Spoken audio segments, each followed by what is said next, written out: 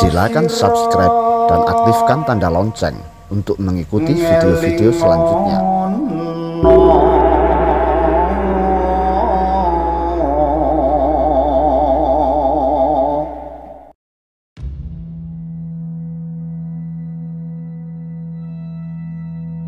Ada sebuah negeri sangat indah. Keindahannya bagai di alam mimpi. Namanya Yawadwipa, sebuah pulau agung yang merupakan kitab yang Agastya nan sakti. Pulau yang tiada bandingnya. Kini pulau itu dihinggapi ketakutan dan keindahannya seolah hilang.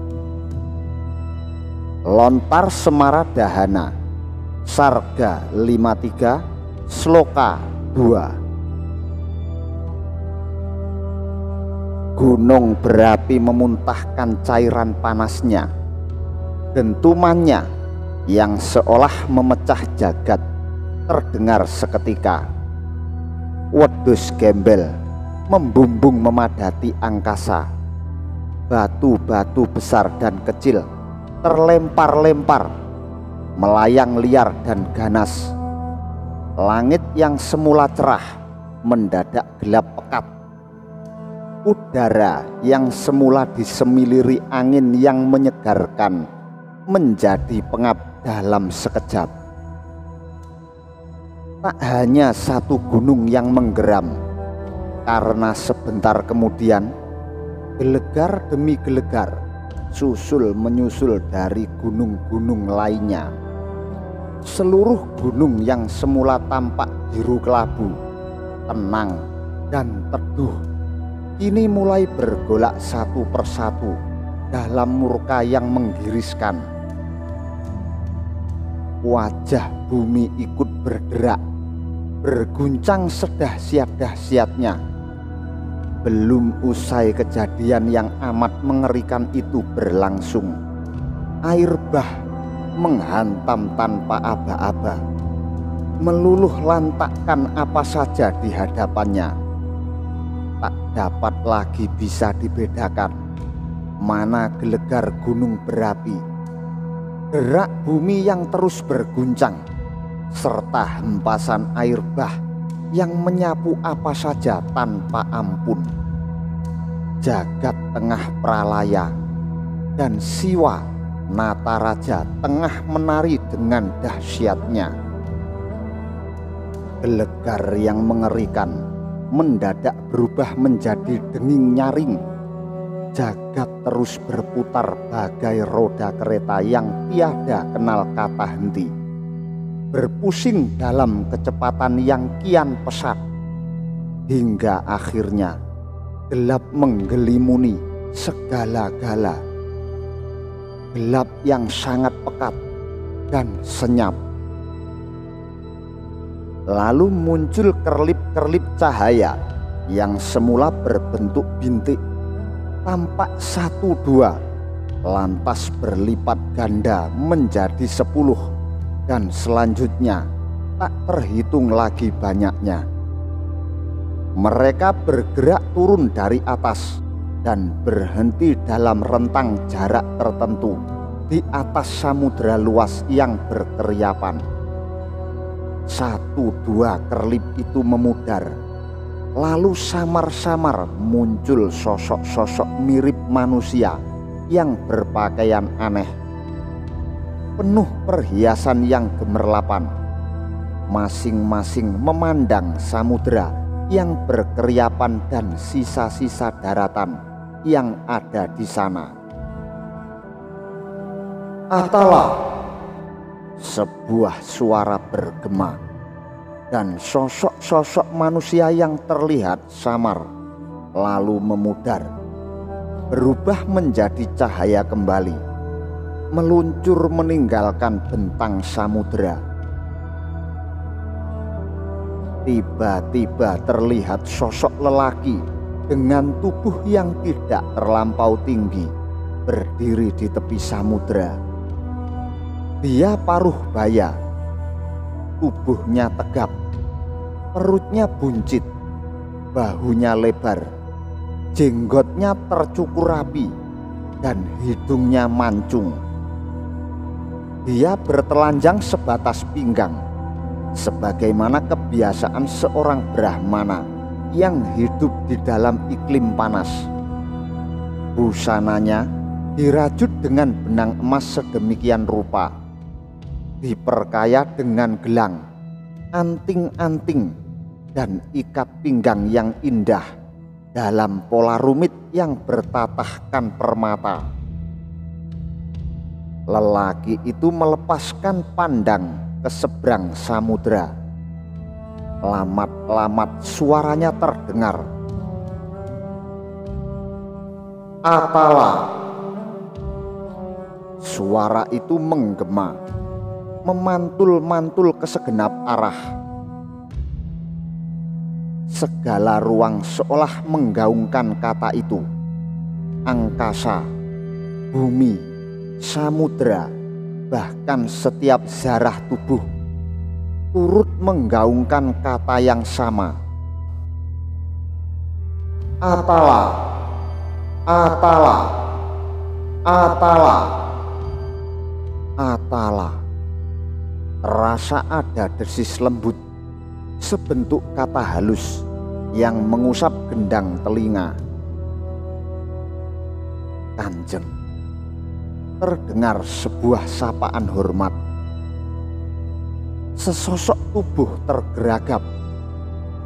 Cahaya yang cukup terik mengurapi kelopak matanya. Perlahan dia membuka mata. Kanjeng. Kembali sapaan itu terdengar. Kesadarannya mulai kembali ke alam nyata dia mendapati dirinya tengah terbaring di dalam tenda perkemahan. Dua prajurit bertelimpuh di depan pintu tenda dengan sikap anjali, menyembah di depan dada. Raden Kertabumi menarik napas dalam-dalam dan menyeka peluh di dahinya. Dua prajurit tetap sabar menanti tanggapan junjungannya. Dengan sikap yang tetap juga sama mengatupkan kedua telapak tangan di depan dada. Rupanya baru saja dia bermimpi. Mimpi yang aneh dan menyeramkan. Dia tercenung. Mimpi yang baru saja dialaminya masih menyedot-nyedot segenap kesadarannya. Bagai dengung kumbang yang bertahan di telinga. Walau kumbangnya telah pergi, dengungnya masih menyisakan geletar yang menolak pudar. Dan seluruh tubuhnya kini serasa bagaikan gendang telinga yang menggeletar itu. Jagat Dewa Batara desisnya lirih. Dengan mata yang sedikit memerah, Raden Kertabumi melayangkan tatapannya kepada dua prajurit yang menunggunya. Ditariknya napas sejenak, kemudian terdengar ucapan lemah dan gemetar dari mulutnya. Kalian tahu apa itu Atala? Dua prajurit itu terdiam. Hampir bersamaan mereka mengangkat sembahnya, sejajar dengan wajah mereka. Kemudian, seiring turunnya sembah kedua tangan tersebut, mereka menjawab hampir secara bersamaan. Nyuwun duko kanjeng. Raden Kertabumi menatap keduanya tanpa berkedip, kemudian mengangguk kecil. Apa yang mau kalian sampaikan?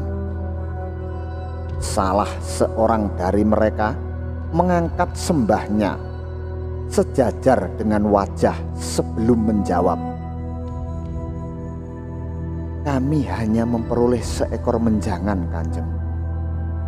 Tak ada binatang buruan lain yang bisa kami haturkan. Tak ada tanggapan dari Raden Kertabumi. Suasana hening sejenak. Ke mana Paman Palon dan Paman Genggong? Di luar kanjeng Raden Kertabumi terdiam sejenak sebelum berkata, "Ya sudah." Dia memberi isyarat dengan gerakan tangannya agar dua prajurit di depannya pergi. Mereka pun mengangkat sembah sejenak, lantas undur diri. Namun, belum sempat mereka sempurna mundur Raden Kertabumi kembali berkata, Perintahkan semua untuk berkemas. Kita balik sekarang juga. Dua prajurit itu seketika menghadap kepada junjungannya kembali, memberikan sembah sekali lagi, lalu benar-benar undur diri asap dupa menjelajahi ruang pura. Dalam sikap Anjali, kedua tangannya terangkat di atas ubun-ubun. Di tengah-tengah tangkupan dua telapak tangannya, di ujung jari jemari yang bertemu, terselip bunga berwarna putih Lamat-lamat terdengar kucaran mantra dari mulutnya. Hung Namo Siwaya. Hung Sembah Ning Anata. Ing halana detriloka sarana. Wahya Jatmika sembaing hulun ijen. Tatan hanawaneh. Sang luwir agni saking tahen. Kadi minyak saking dadi kita sang saksat metu yan hanawang hamu tetutur pinahayu Hung terpujilah siwa. Hung hamba persembahkan sembah sujud hamba yang tiada terkatakan. Semoga engkau berkenan untuk menerimanya. Lahir batin sembah hamba di bawah telapak kakimu. Engkau bagai api yang tersembunyi dalam pepohonan. Engkau bagai minyak yang tersembunyi dalam santan. Nyala kebenaran akan muncul manakala manusia menempuh jalan kebenaran. Dia berhenti sejenak, lalu berlanjut.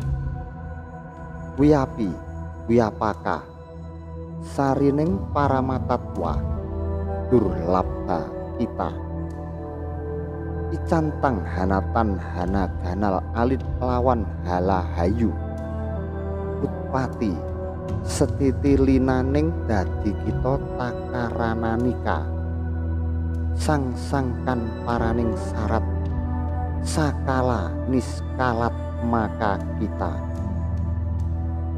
Engkau meresap ke dalam alam raya.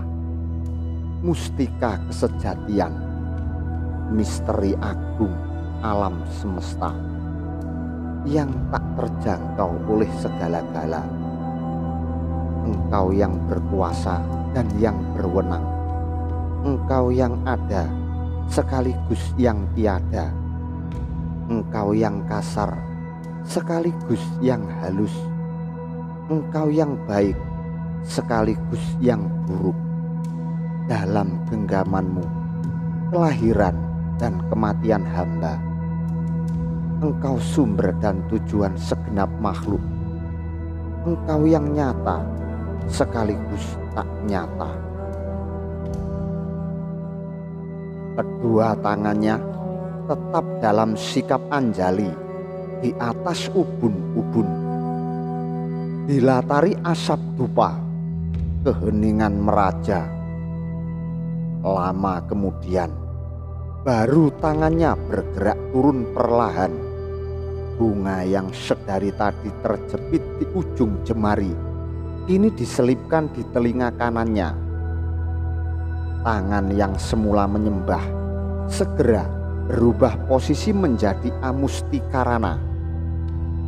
Dengan posisi demikian, dia melambatkan napasnya dan dalam hitungan beberapa kedip mata, dia telah tenggelam dalam meditasi. Rupa masih mengepul dan asapnya terlihat dalam kegelapan. Di balik kelopak matanya yang tertutup. Bagai kabut yang memenuhi segala yang kemudian menipis perlahan-lahan. Mendadak, gebiar cahaya menampak awalnya hanya berupa bintik-bintik cahaya, lantas menjadi kerlap-kerlip. Bintik-bintik cahaya itu kemudian bertebaran dan bergerak, meluncur dari depan, seolah menabrak dahinya, tepat di titik Atna. Semakin deras saja cahaya-cahaya itu melimpahinya menyusul samar-samar sebuah gambaran mulai terlihat dan semakin lama semakin jelas dan tergelar. Di sana, di bawah pohon kelampis yang tinggi dan besar, yang sepanjang batangnya dijejali oleh duri, duduk seorang berbadan gemuk dalam posisi sila. Di depannya ada tujuh orang yang duduk menghadap dengan posisi tangan menghaturkan sembah hormat. Anak-anakku, ada sebuah tempat di sebelah timur Yawadwipa. Cahaya cemerlangnya serupa Yawadwipa sendiri.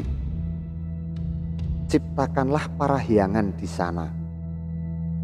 Kalian bertiga yang kelak akan bergelar yang Tripurusa. Berangkatlah terlebih dahulu. Empat adik kalian, biarlah menyusul kemudian. Bila mana kalian bertujuh sudah mencipta parahyangan di sana, kelak kalian akan dikenal sebagai Sabta Batara. Bila mana parahyangan selesai kalian ciptakan, kembalilah kemari ke Mahameru ini, parahyangan bapamu ini. Tujuh orang yang berpakaian Brahmana memberikan sembah hormat kepada sosok yang tengah bersila di bawah pohon kelampis itu. Tiga di antara mereka kemudian undur diri Semoga restu yang Dewa Batara serta restu Baparsi senantiasa menyertai. Kami mohon undur diri Bapak. Salah seorang dari mereka yang tertua mewakili dua adiknya menyampaikan salam pamit.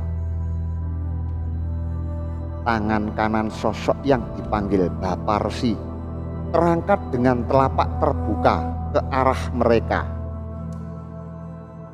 Restu yang Dewa Batara dan restuku menyertai kalian nak. Sekali lagi mereka menghaturkan sembah. Angin yang berkesiut ke dalam pura terasa begitu menyegarkan angin itu mengipasi sekujur tubuhnya yang gerah. Angin itu membawa kabur segala gambaran yang baru saja terbentang. Dan angin itu pun menggiring asap dupa memasuki hidungnya. Cahaya yang bertaburan tiba-tiba terlihat kembali. Kerlap-kerlip bergerak menjauh tersedot keluar. Cahaya kerlap-kerlip itu semakin habis terhisap. Perlahan kegelapan mulai meraya. Pada mulanya, hanya tarikan dan hembusan napasnya yang terasa. Keluar masuknya napas membawa bau harum asap dupa. Disusul kemudian sekujur tubuh seolah memperoleh bentuknya kembali. Bermula dari kepala, leher, bahu, dada, lengan, jari jemari, perut, paha, lalu kaki. Sosok yang bersila itu mulai menyadari keberadaan tubuhnya. Perlahan dan pasti, kesadarannya menemukan bentuknya lagi. Ditariknya napas panjang. Seiring hembusan napas yang keluar, lamat-lamat terdengar ucapan gemetar dari bibirnya. Jagat Dewa Batara. Tubuhnya bergetar sejenak.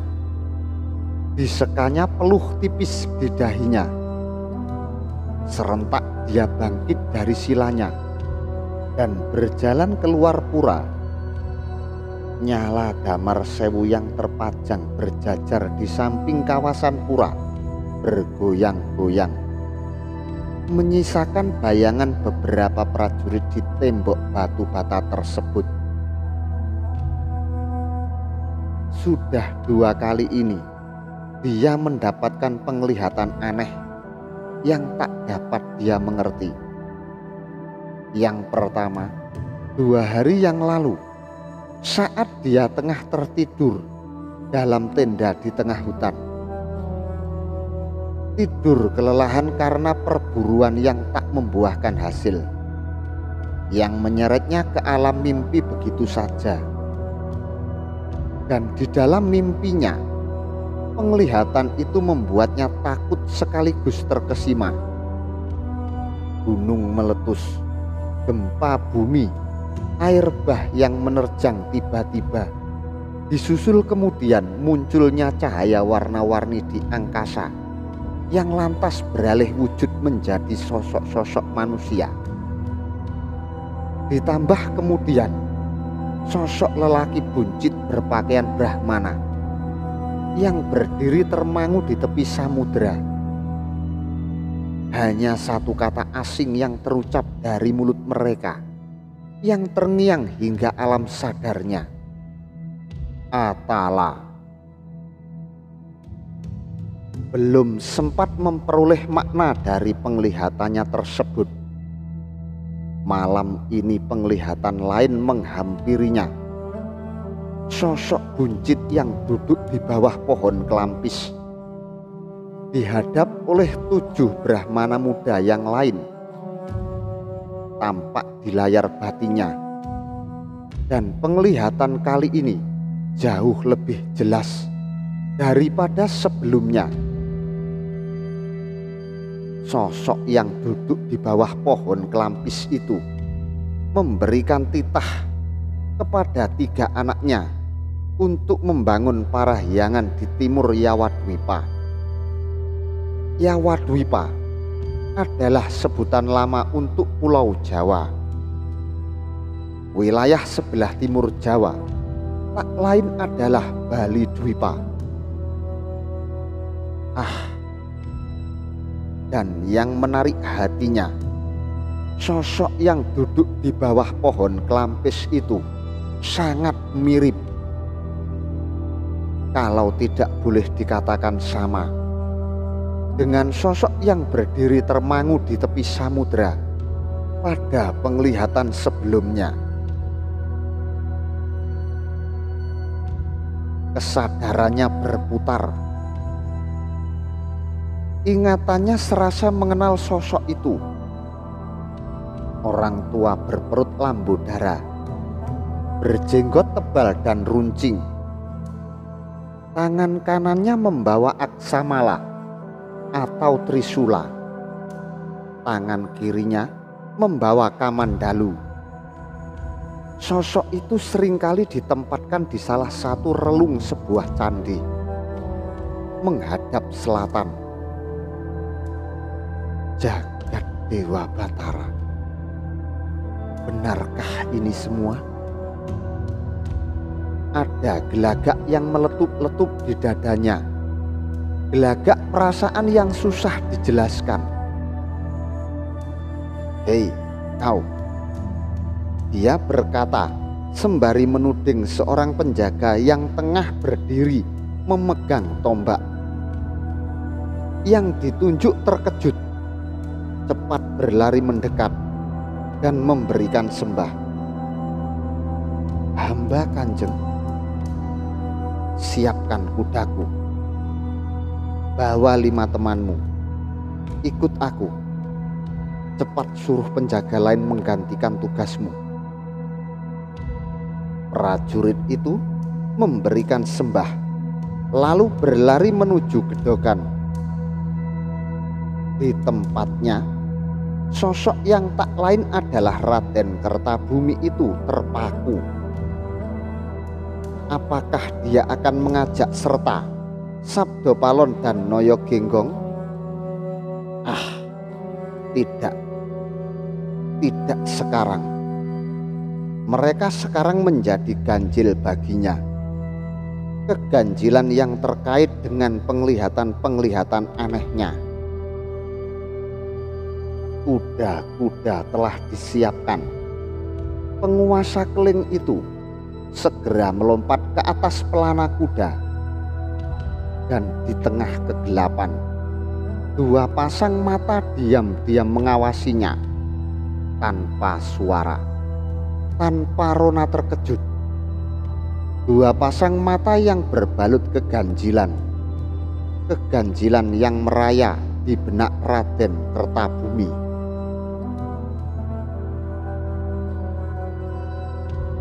enam orang berkuda memasuki kawasan pendarmaan dengan sebilah obor yang dipegang oleh salah satu penunggangnya.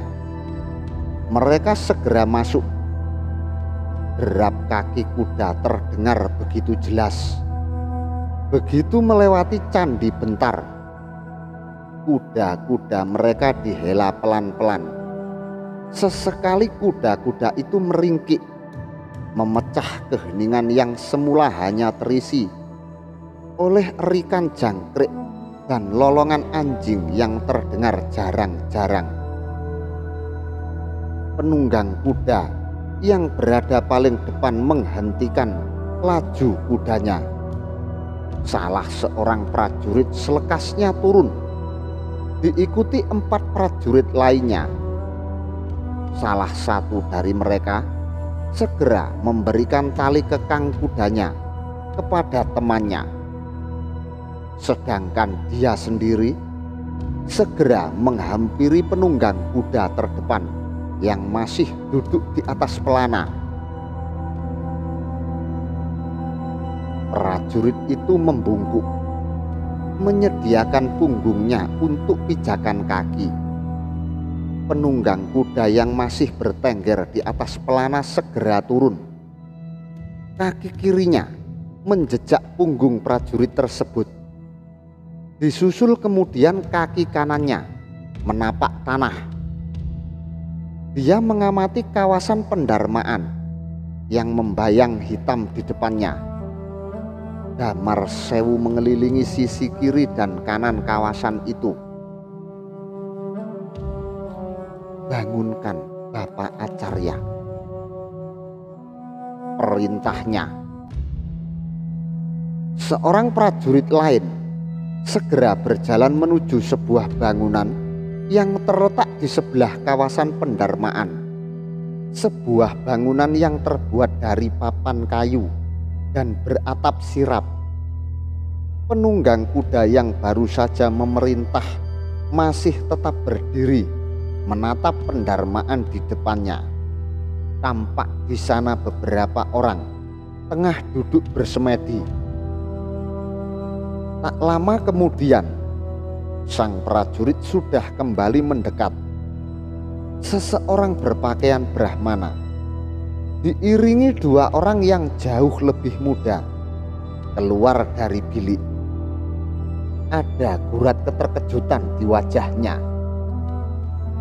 Sosok yang sejak semula berdiri segera bergerak menuju bangunan beratap sirap tersebut.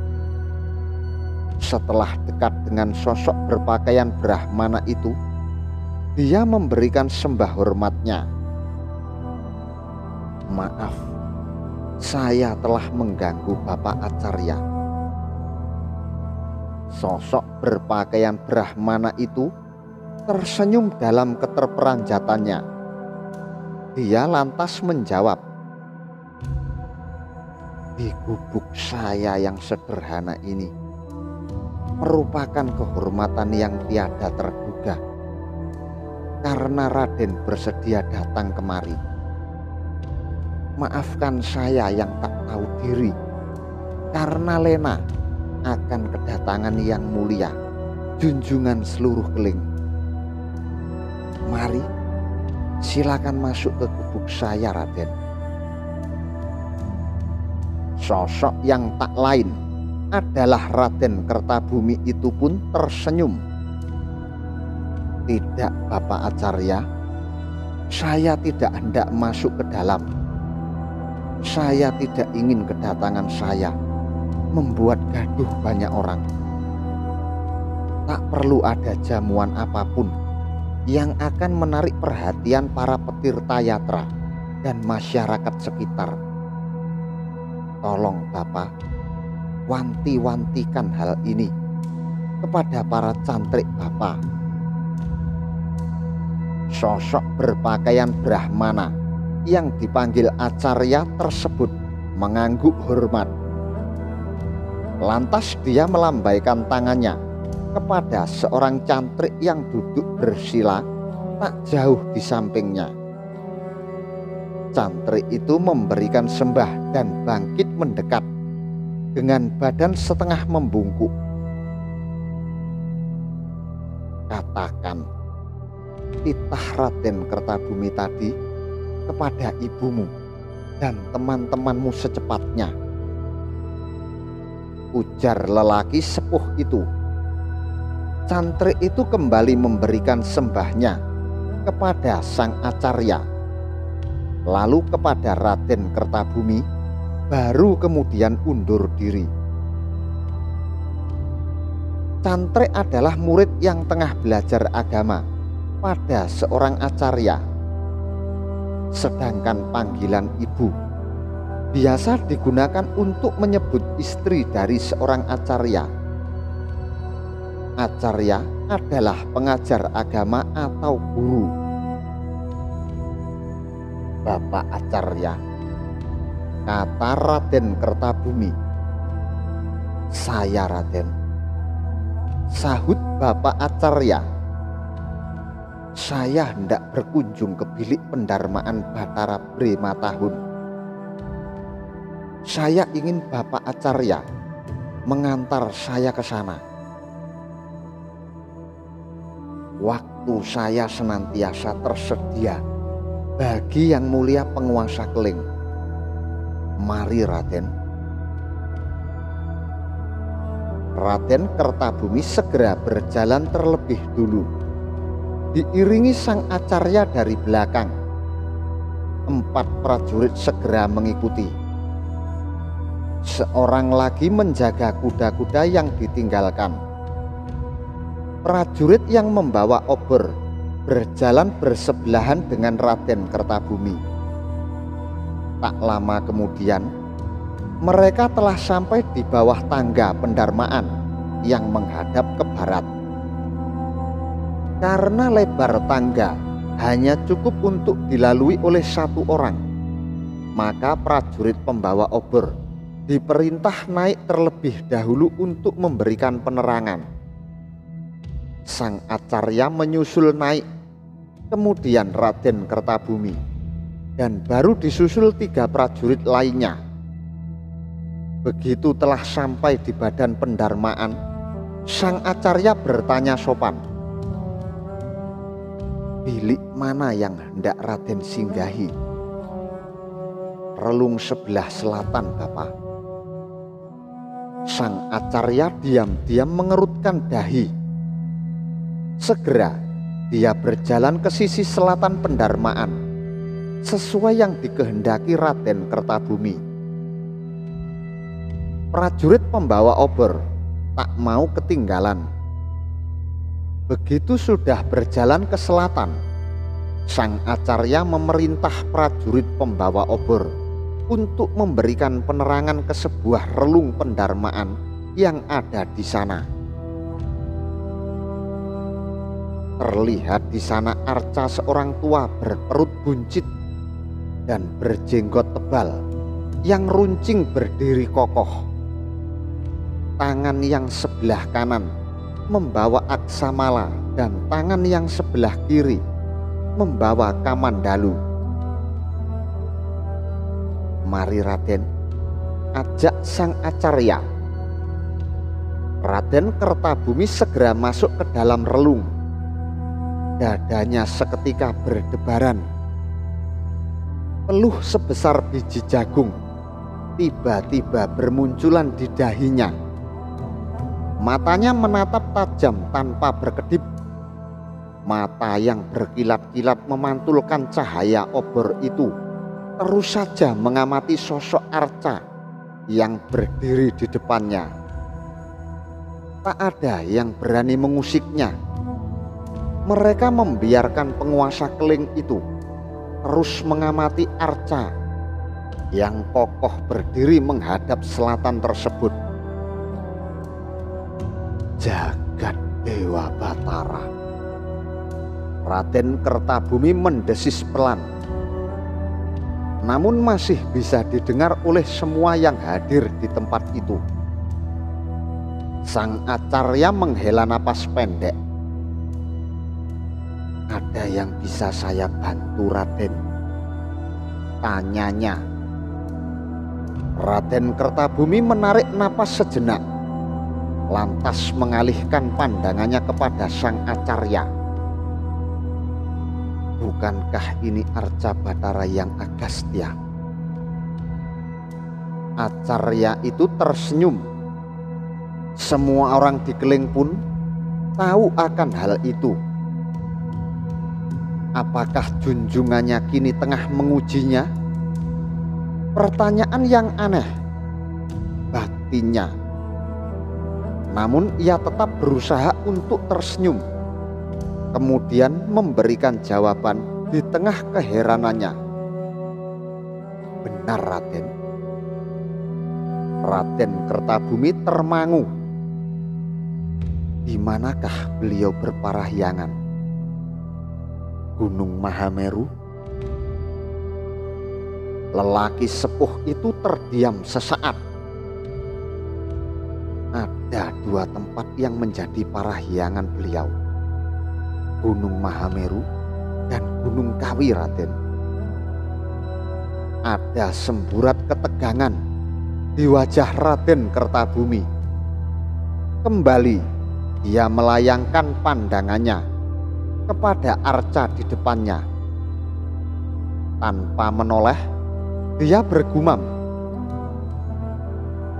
Sepertinya malam ini juga Bapak Acarya harus ikut saya ke keraton. Banyak hal yang hendak saya tanyakan. Sang Acarya menatap junjungannya dengan wajah keheranan. Apa pun sabda Raden. Raden Kertabumi membalikkan badannya. Berjalan keluar dari relung pendarmaan yang berisi arca orang tua berperut buncit tersebut. Prajurit pembawa obor sigap mendampingi. Disusul sang acarya, lantas tiga prajurit yang lain mengikuti di belakang. Malam beranjak menuju puncak. Saat itu juga sang acarya ikut serta dalam rombongan Raden Kertabumi menuju Keraton Keling.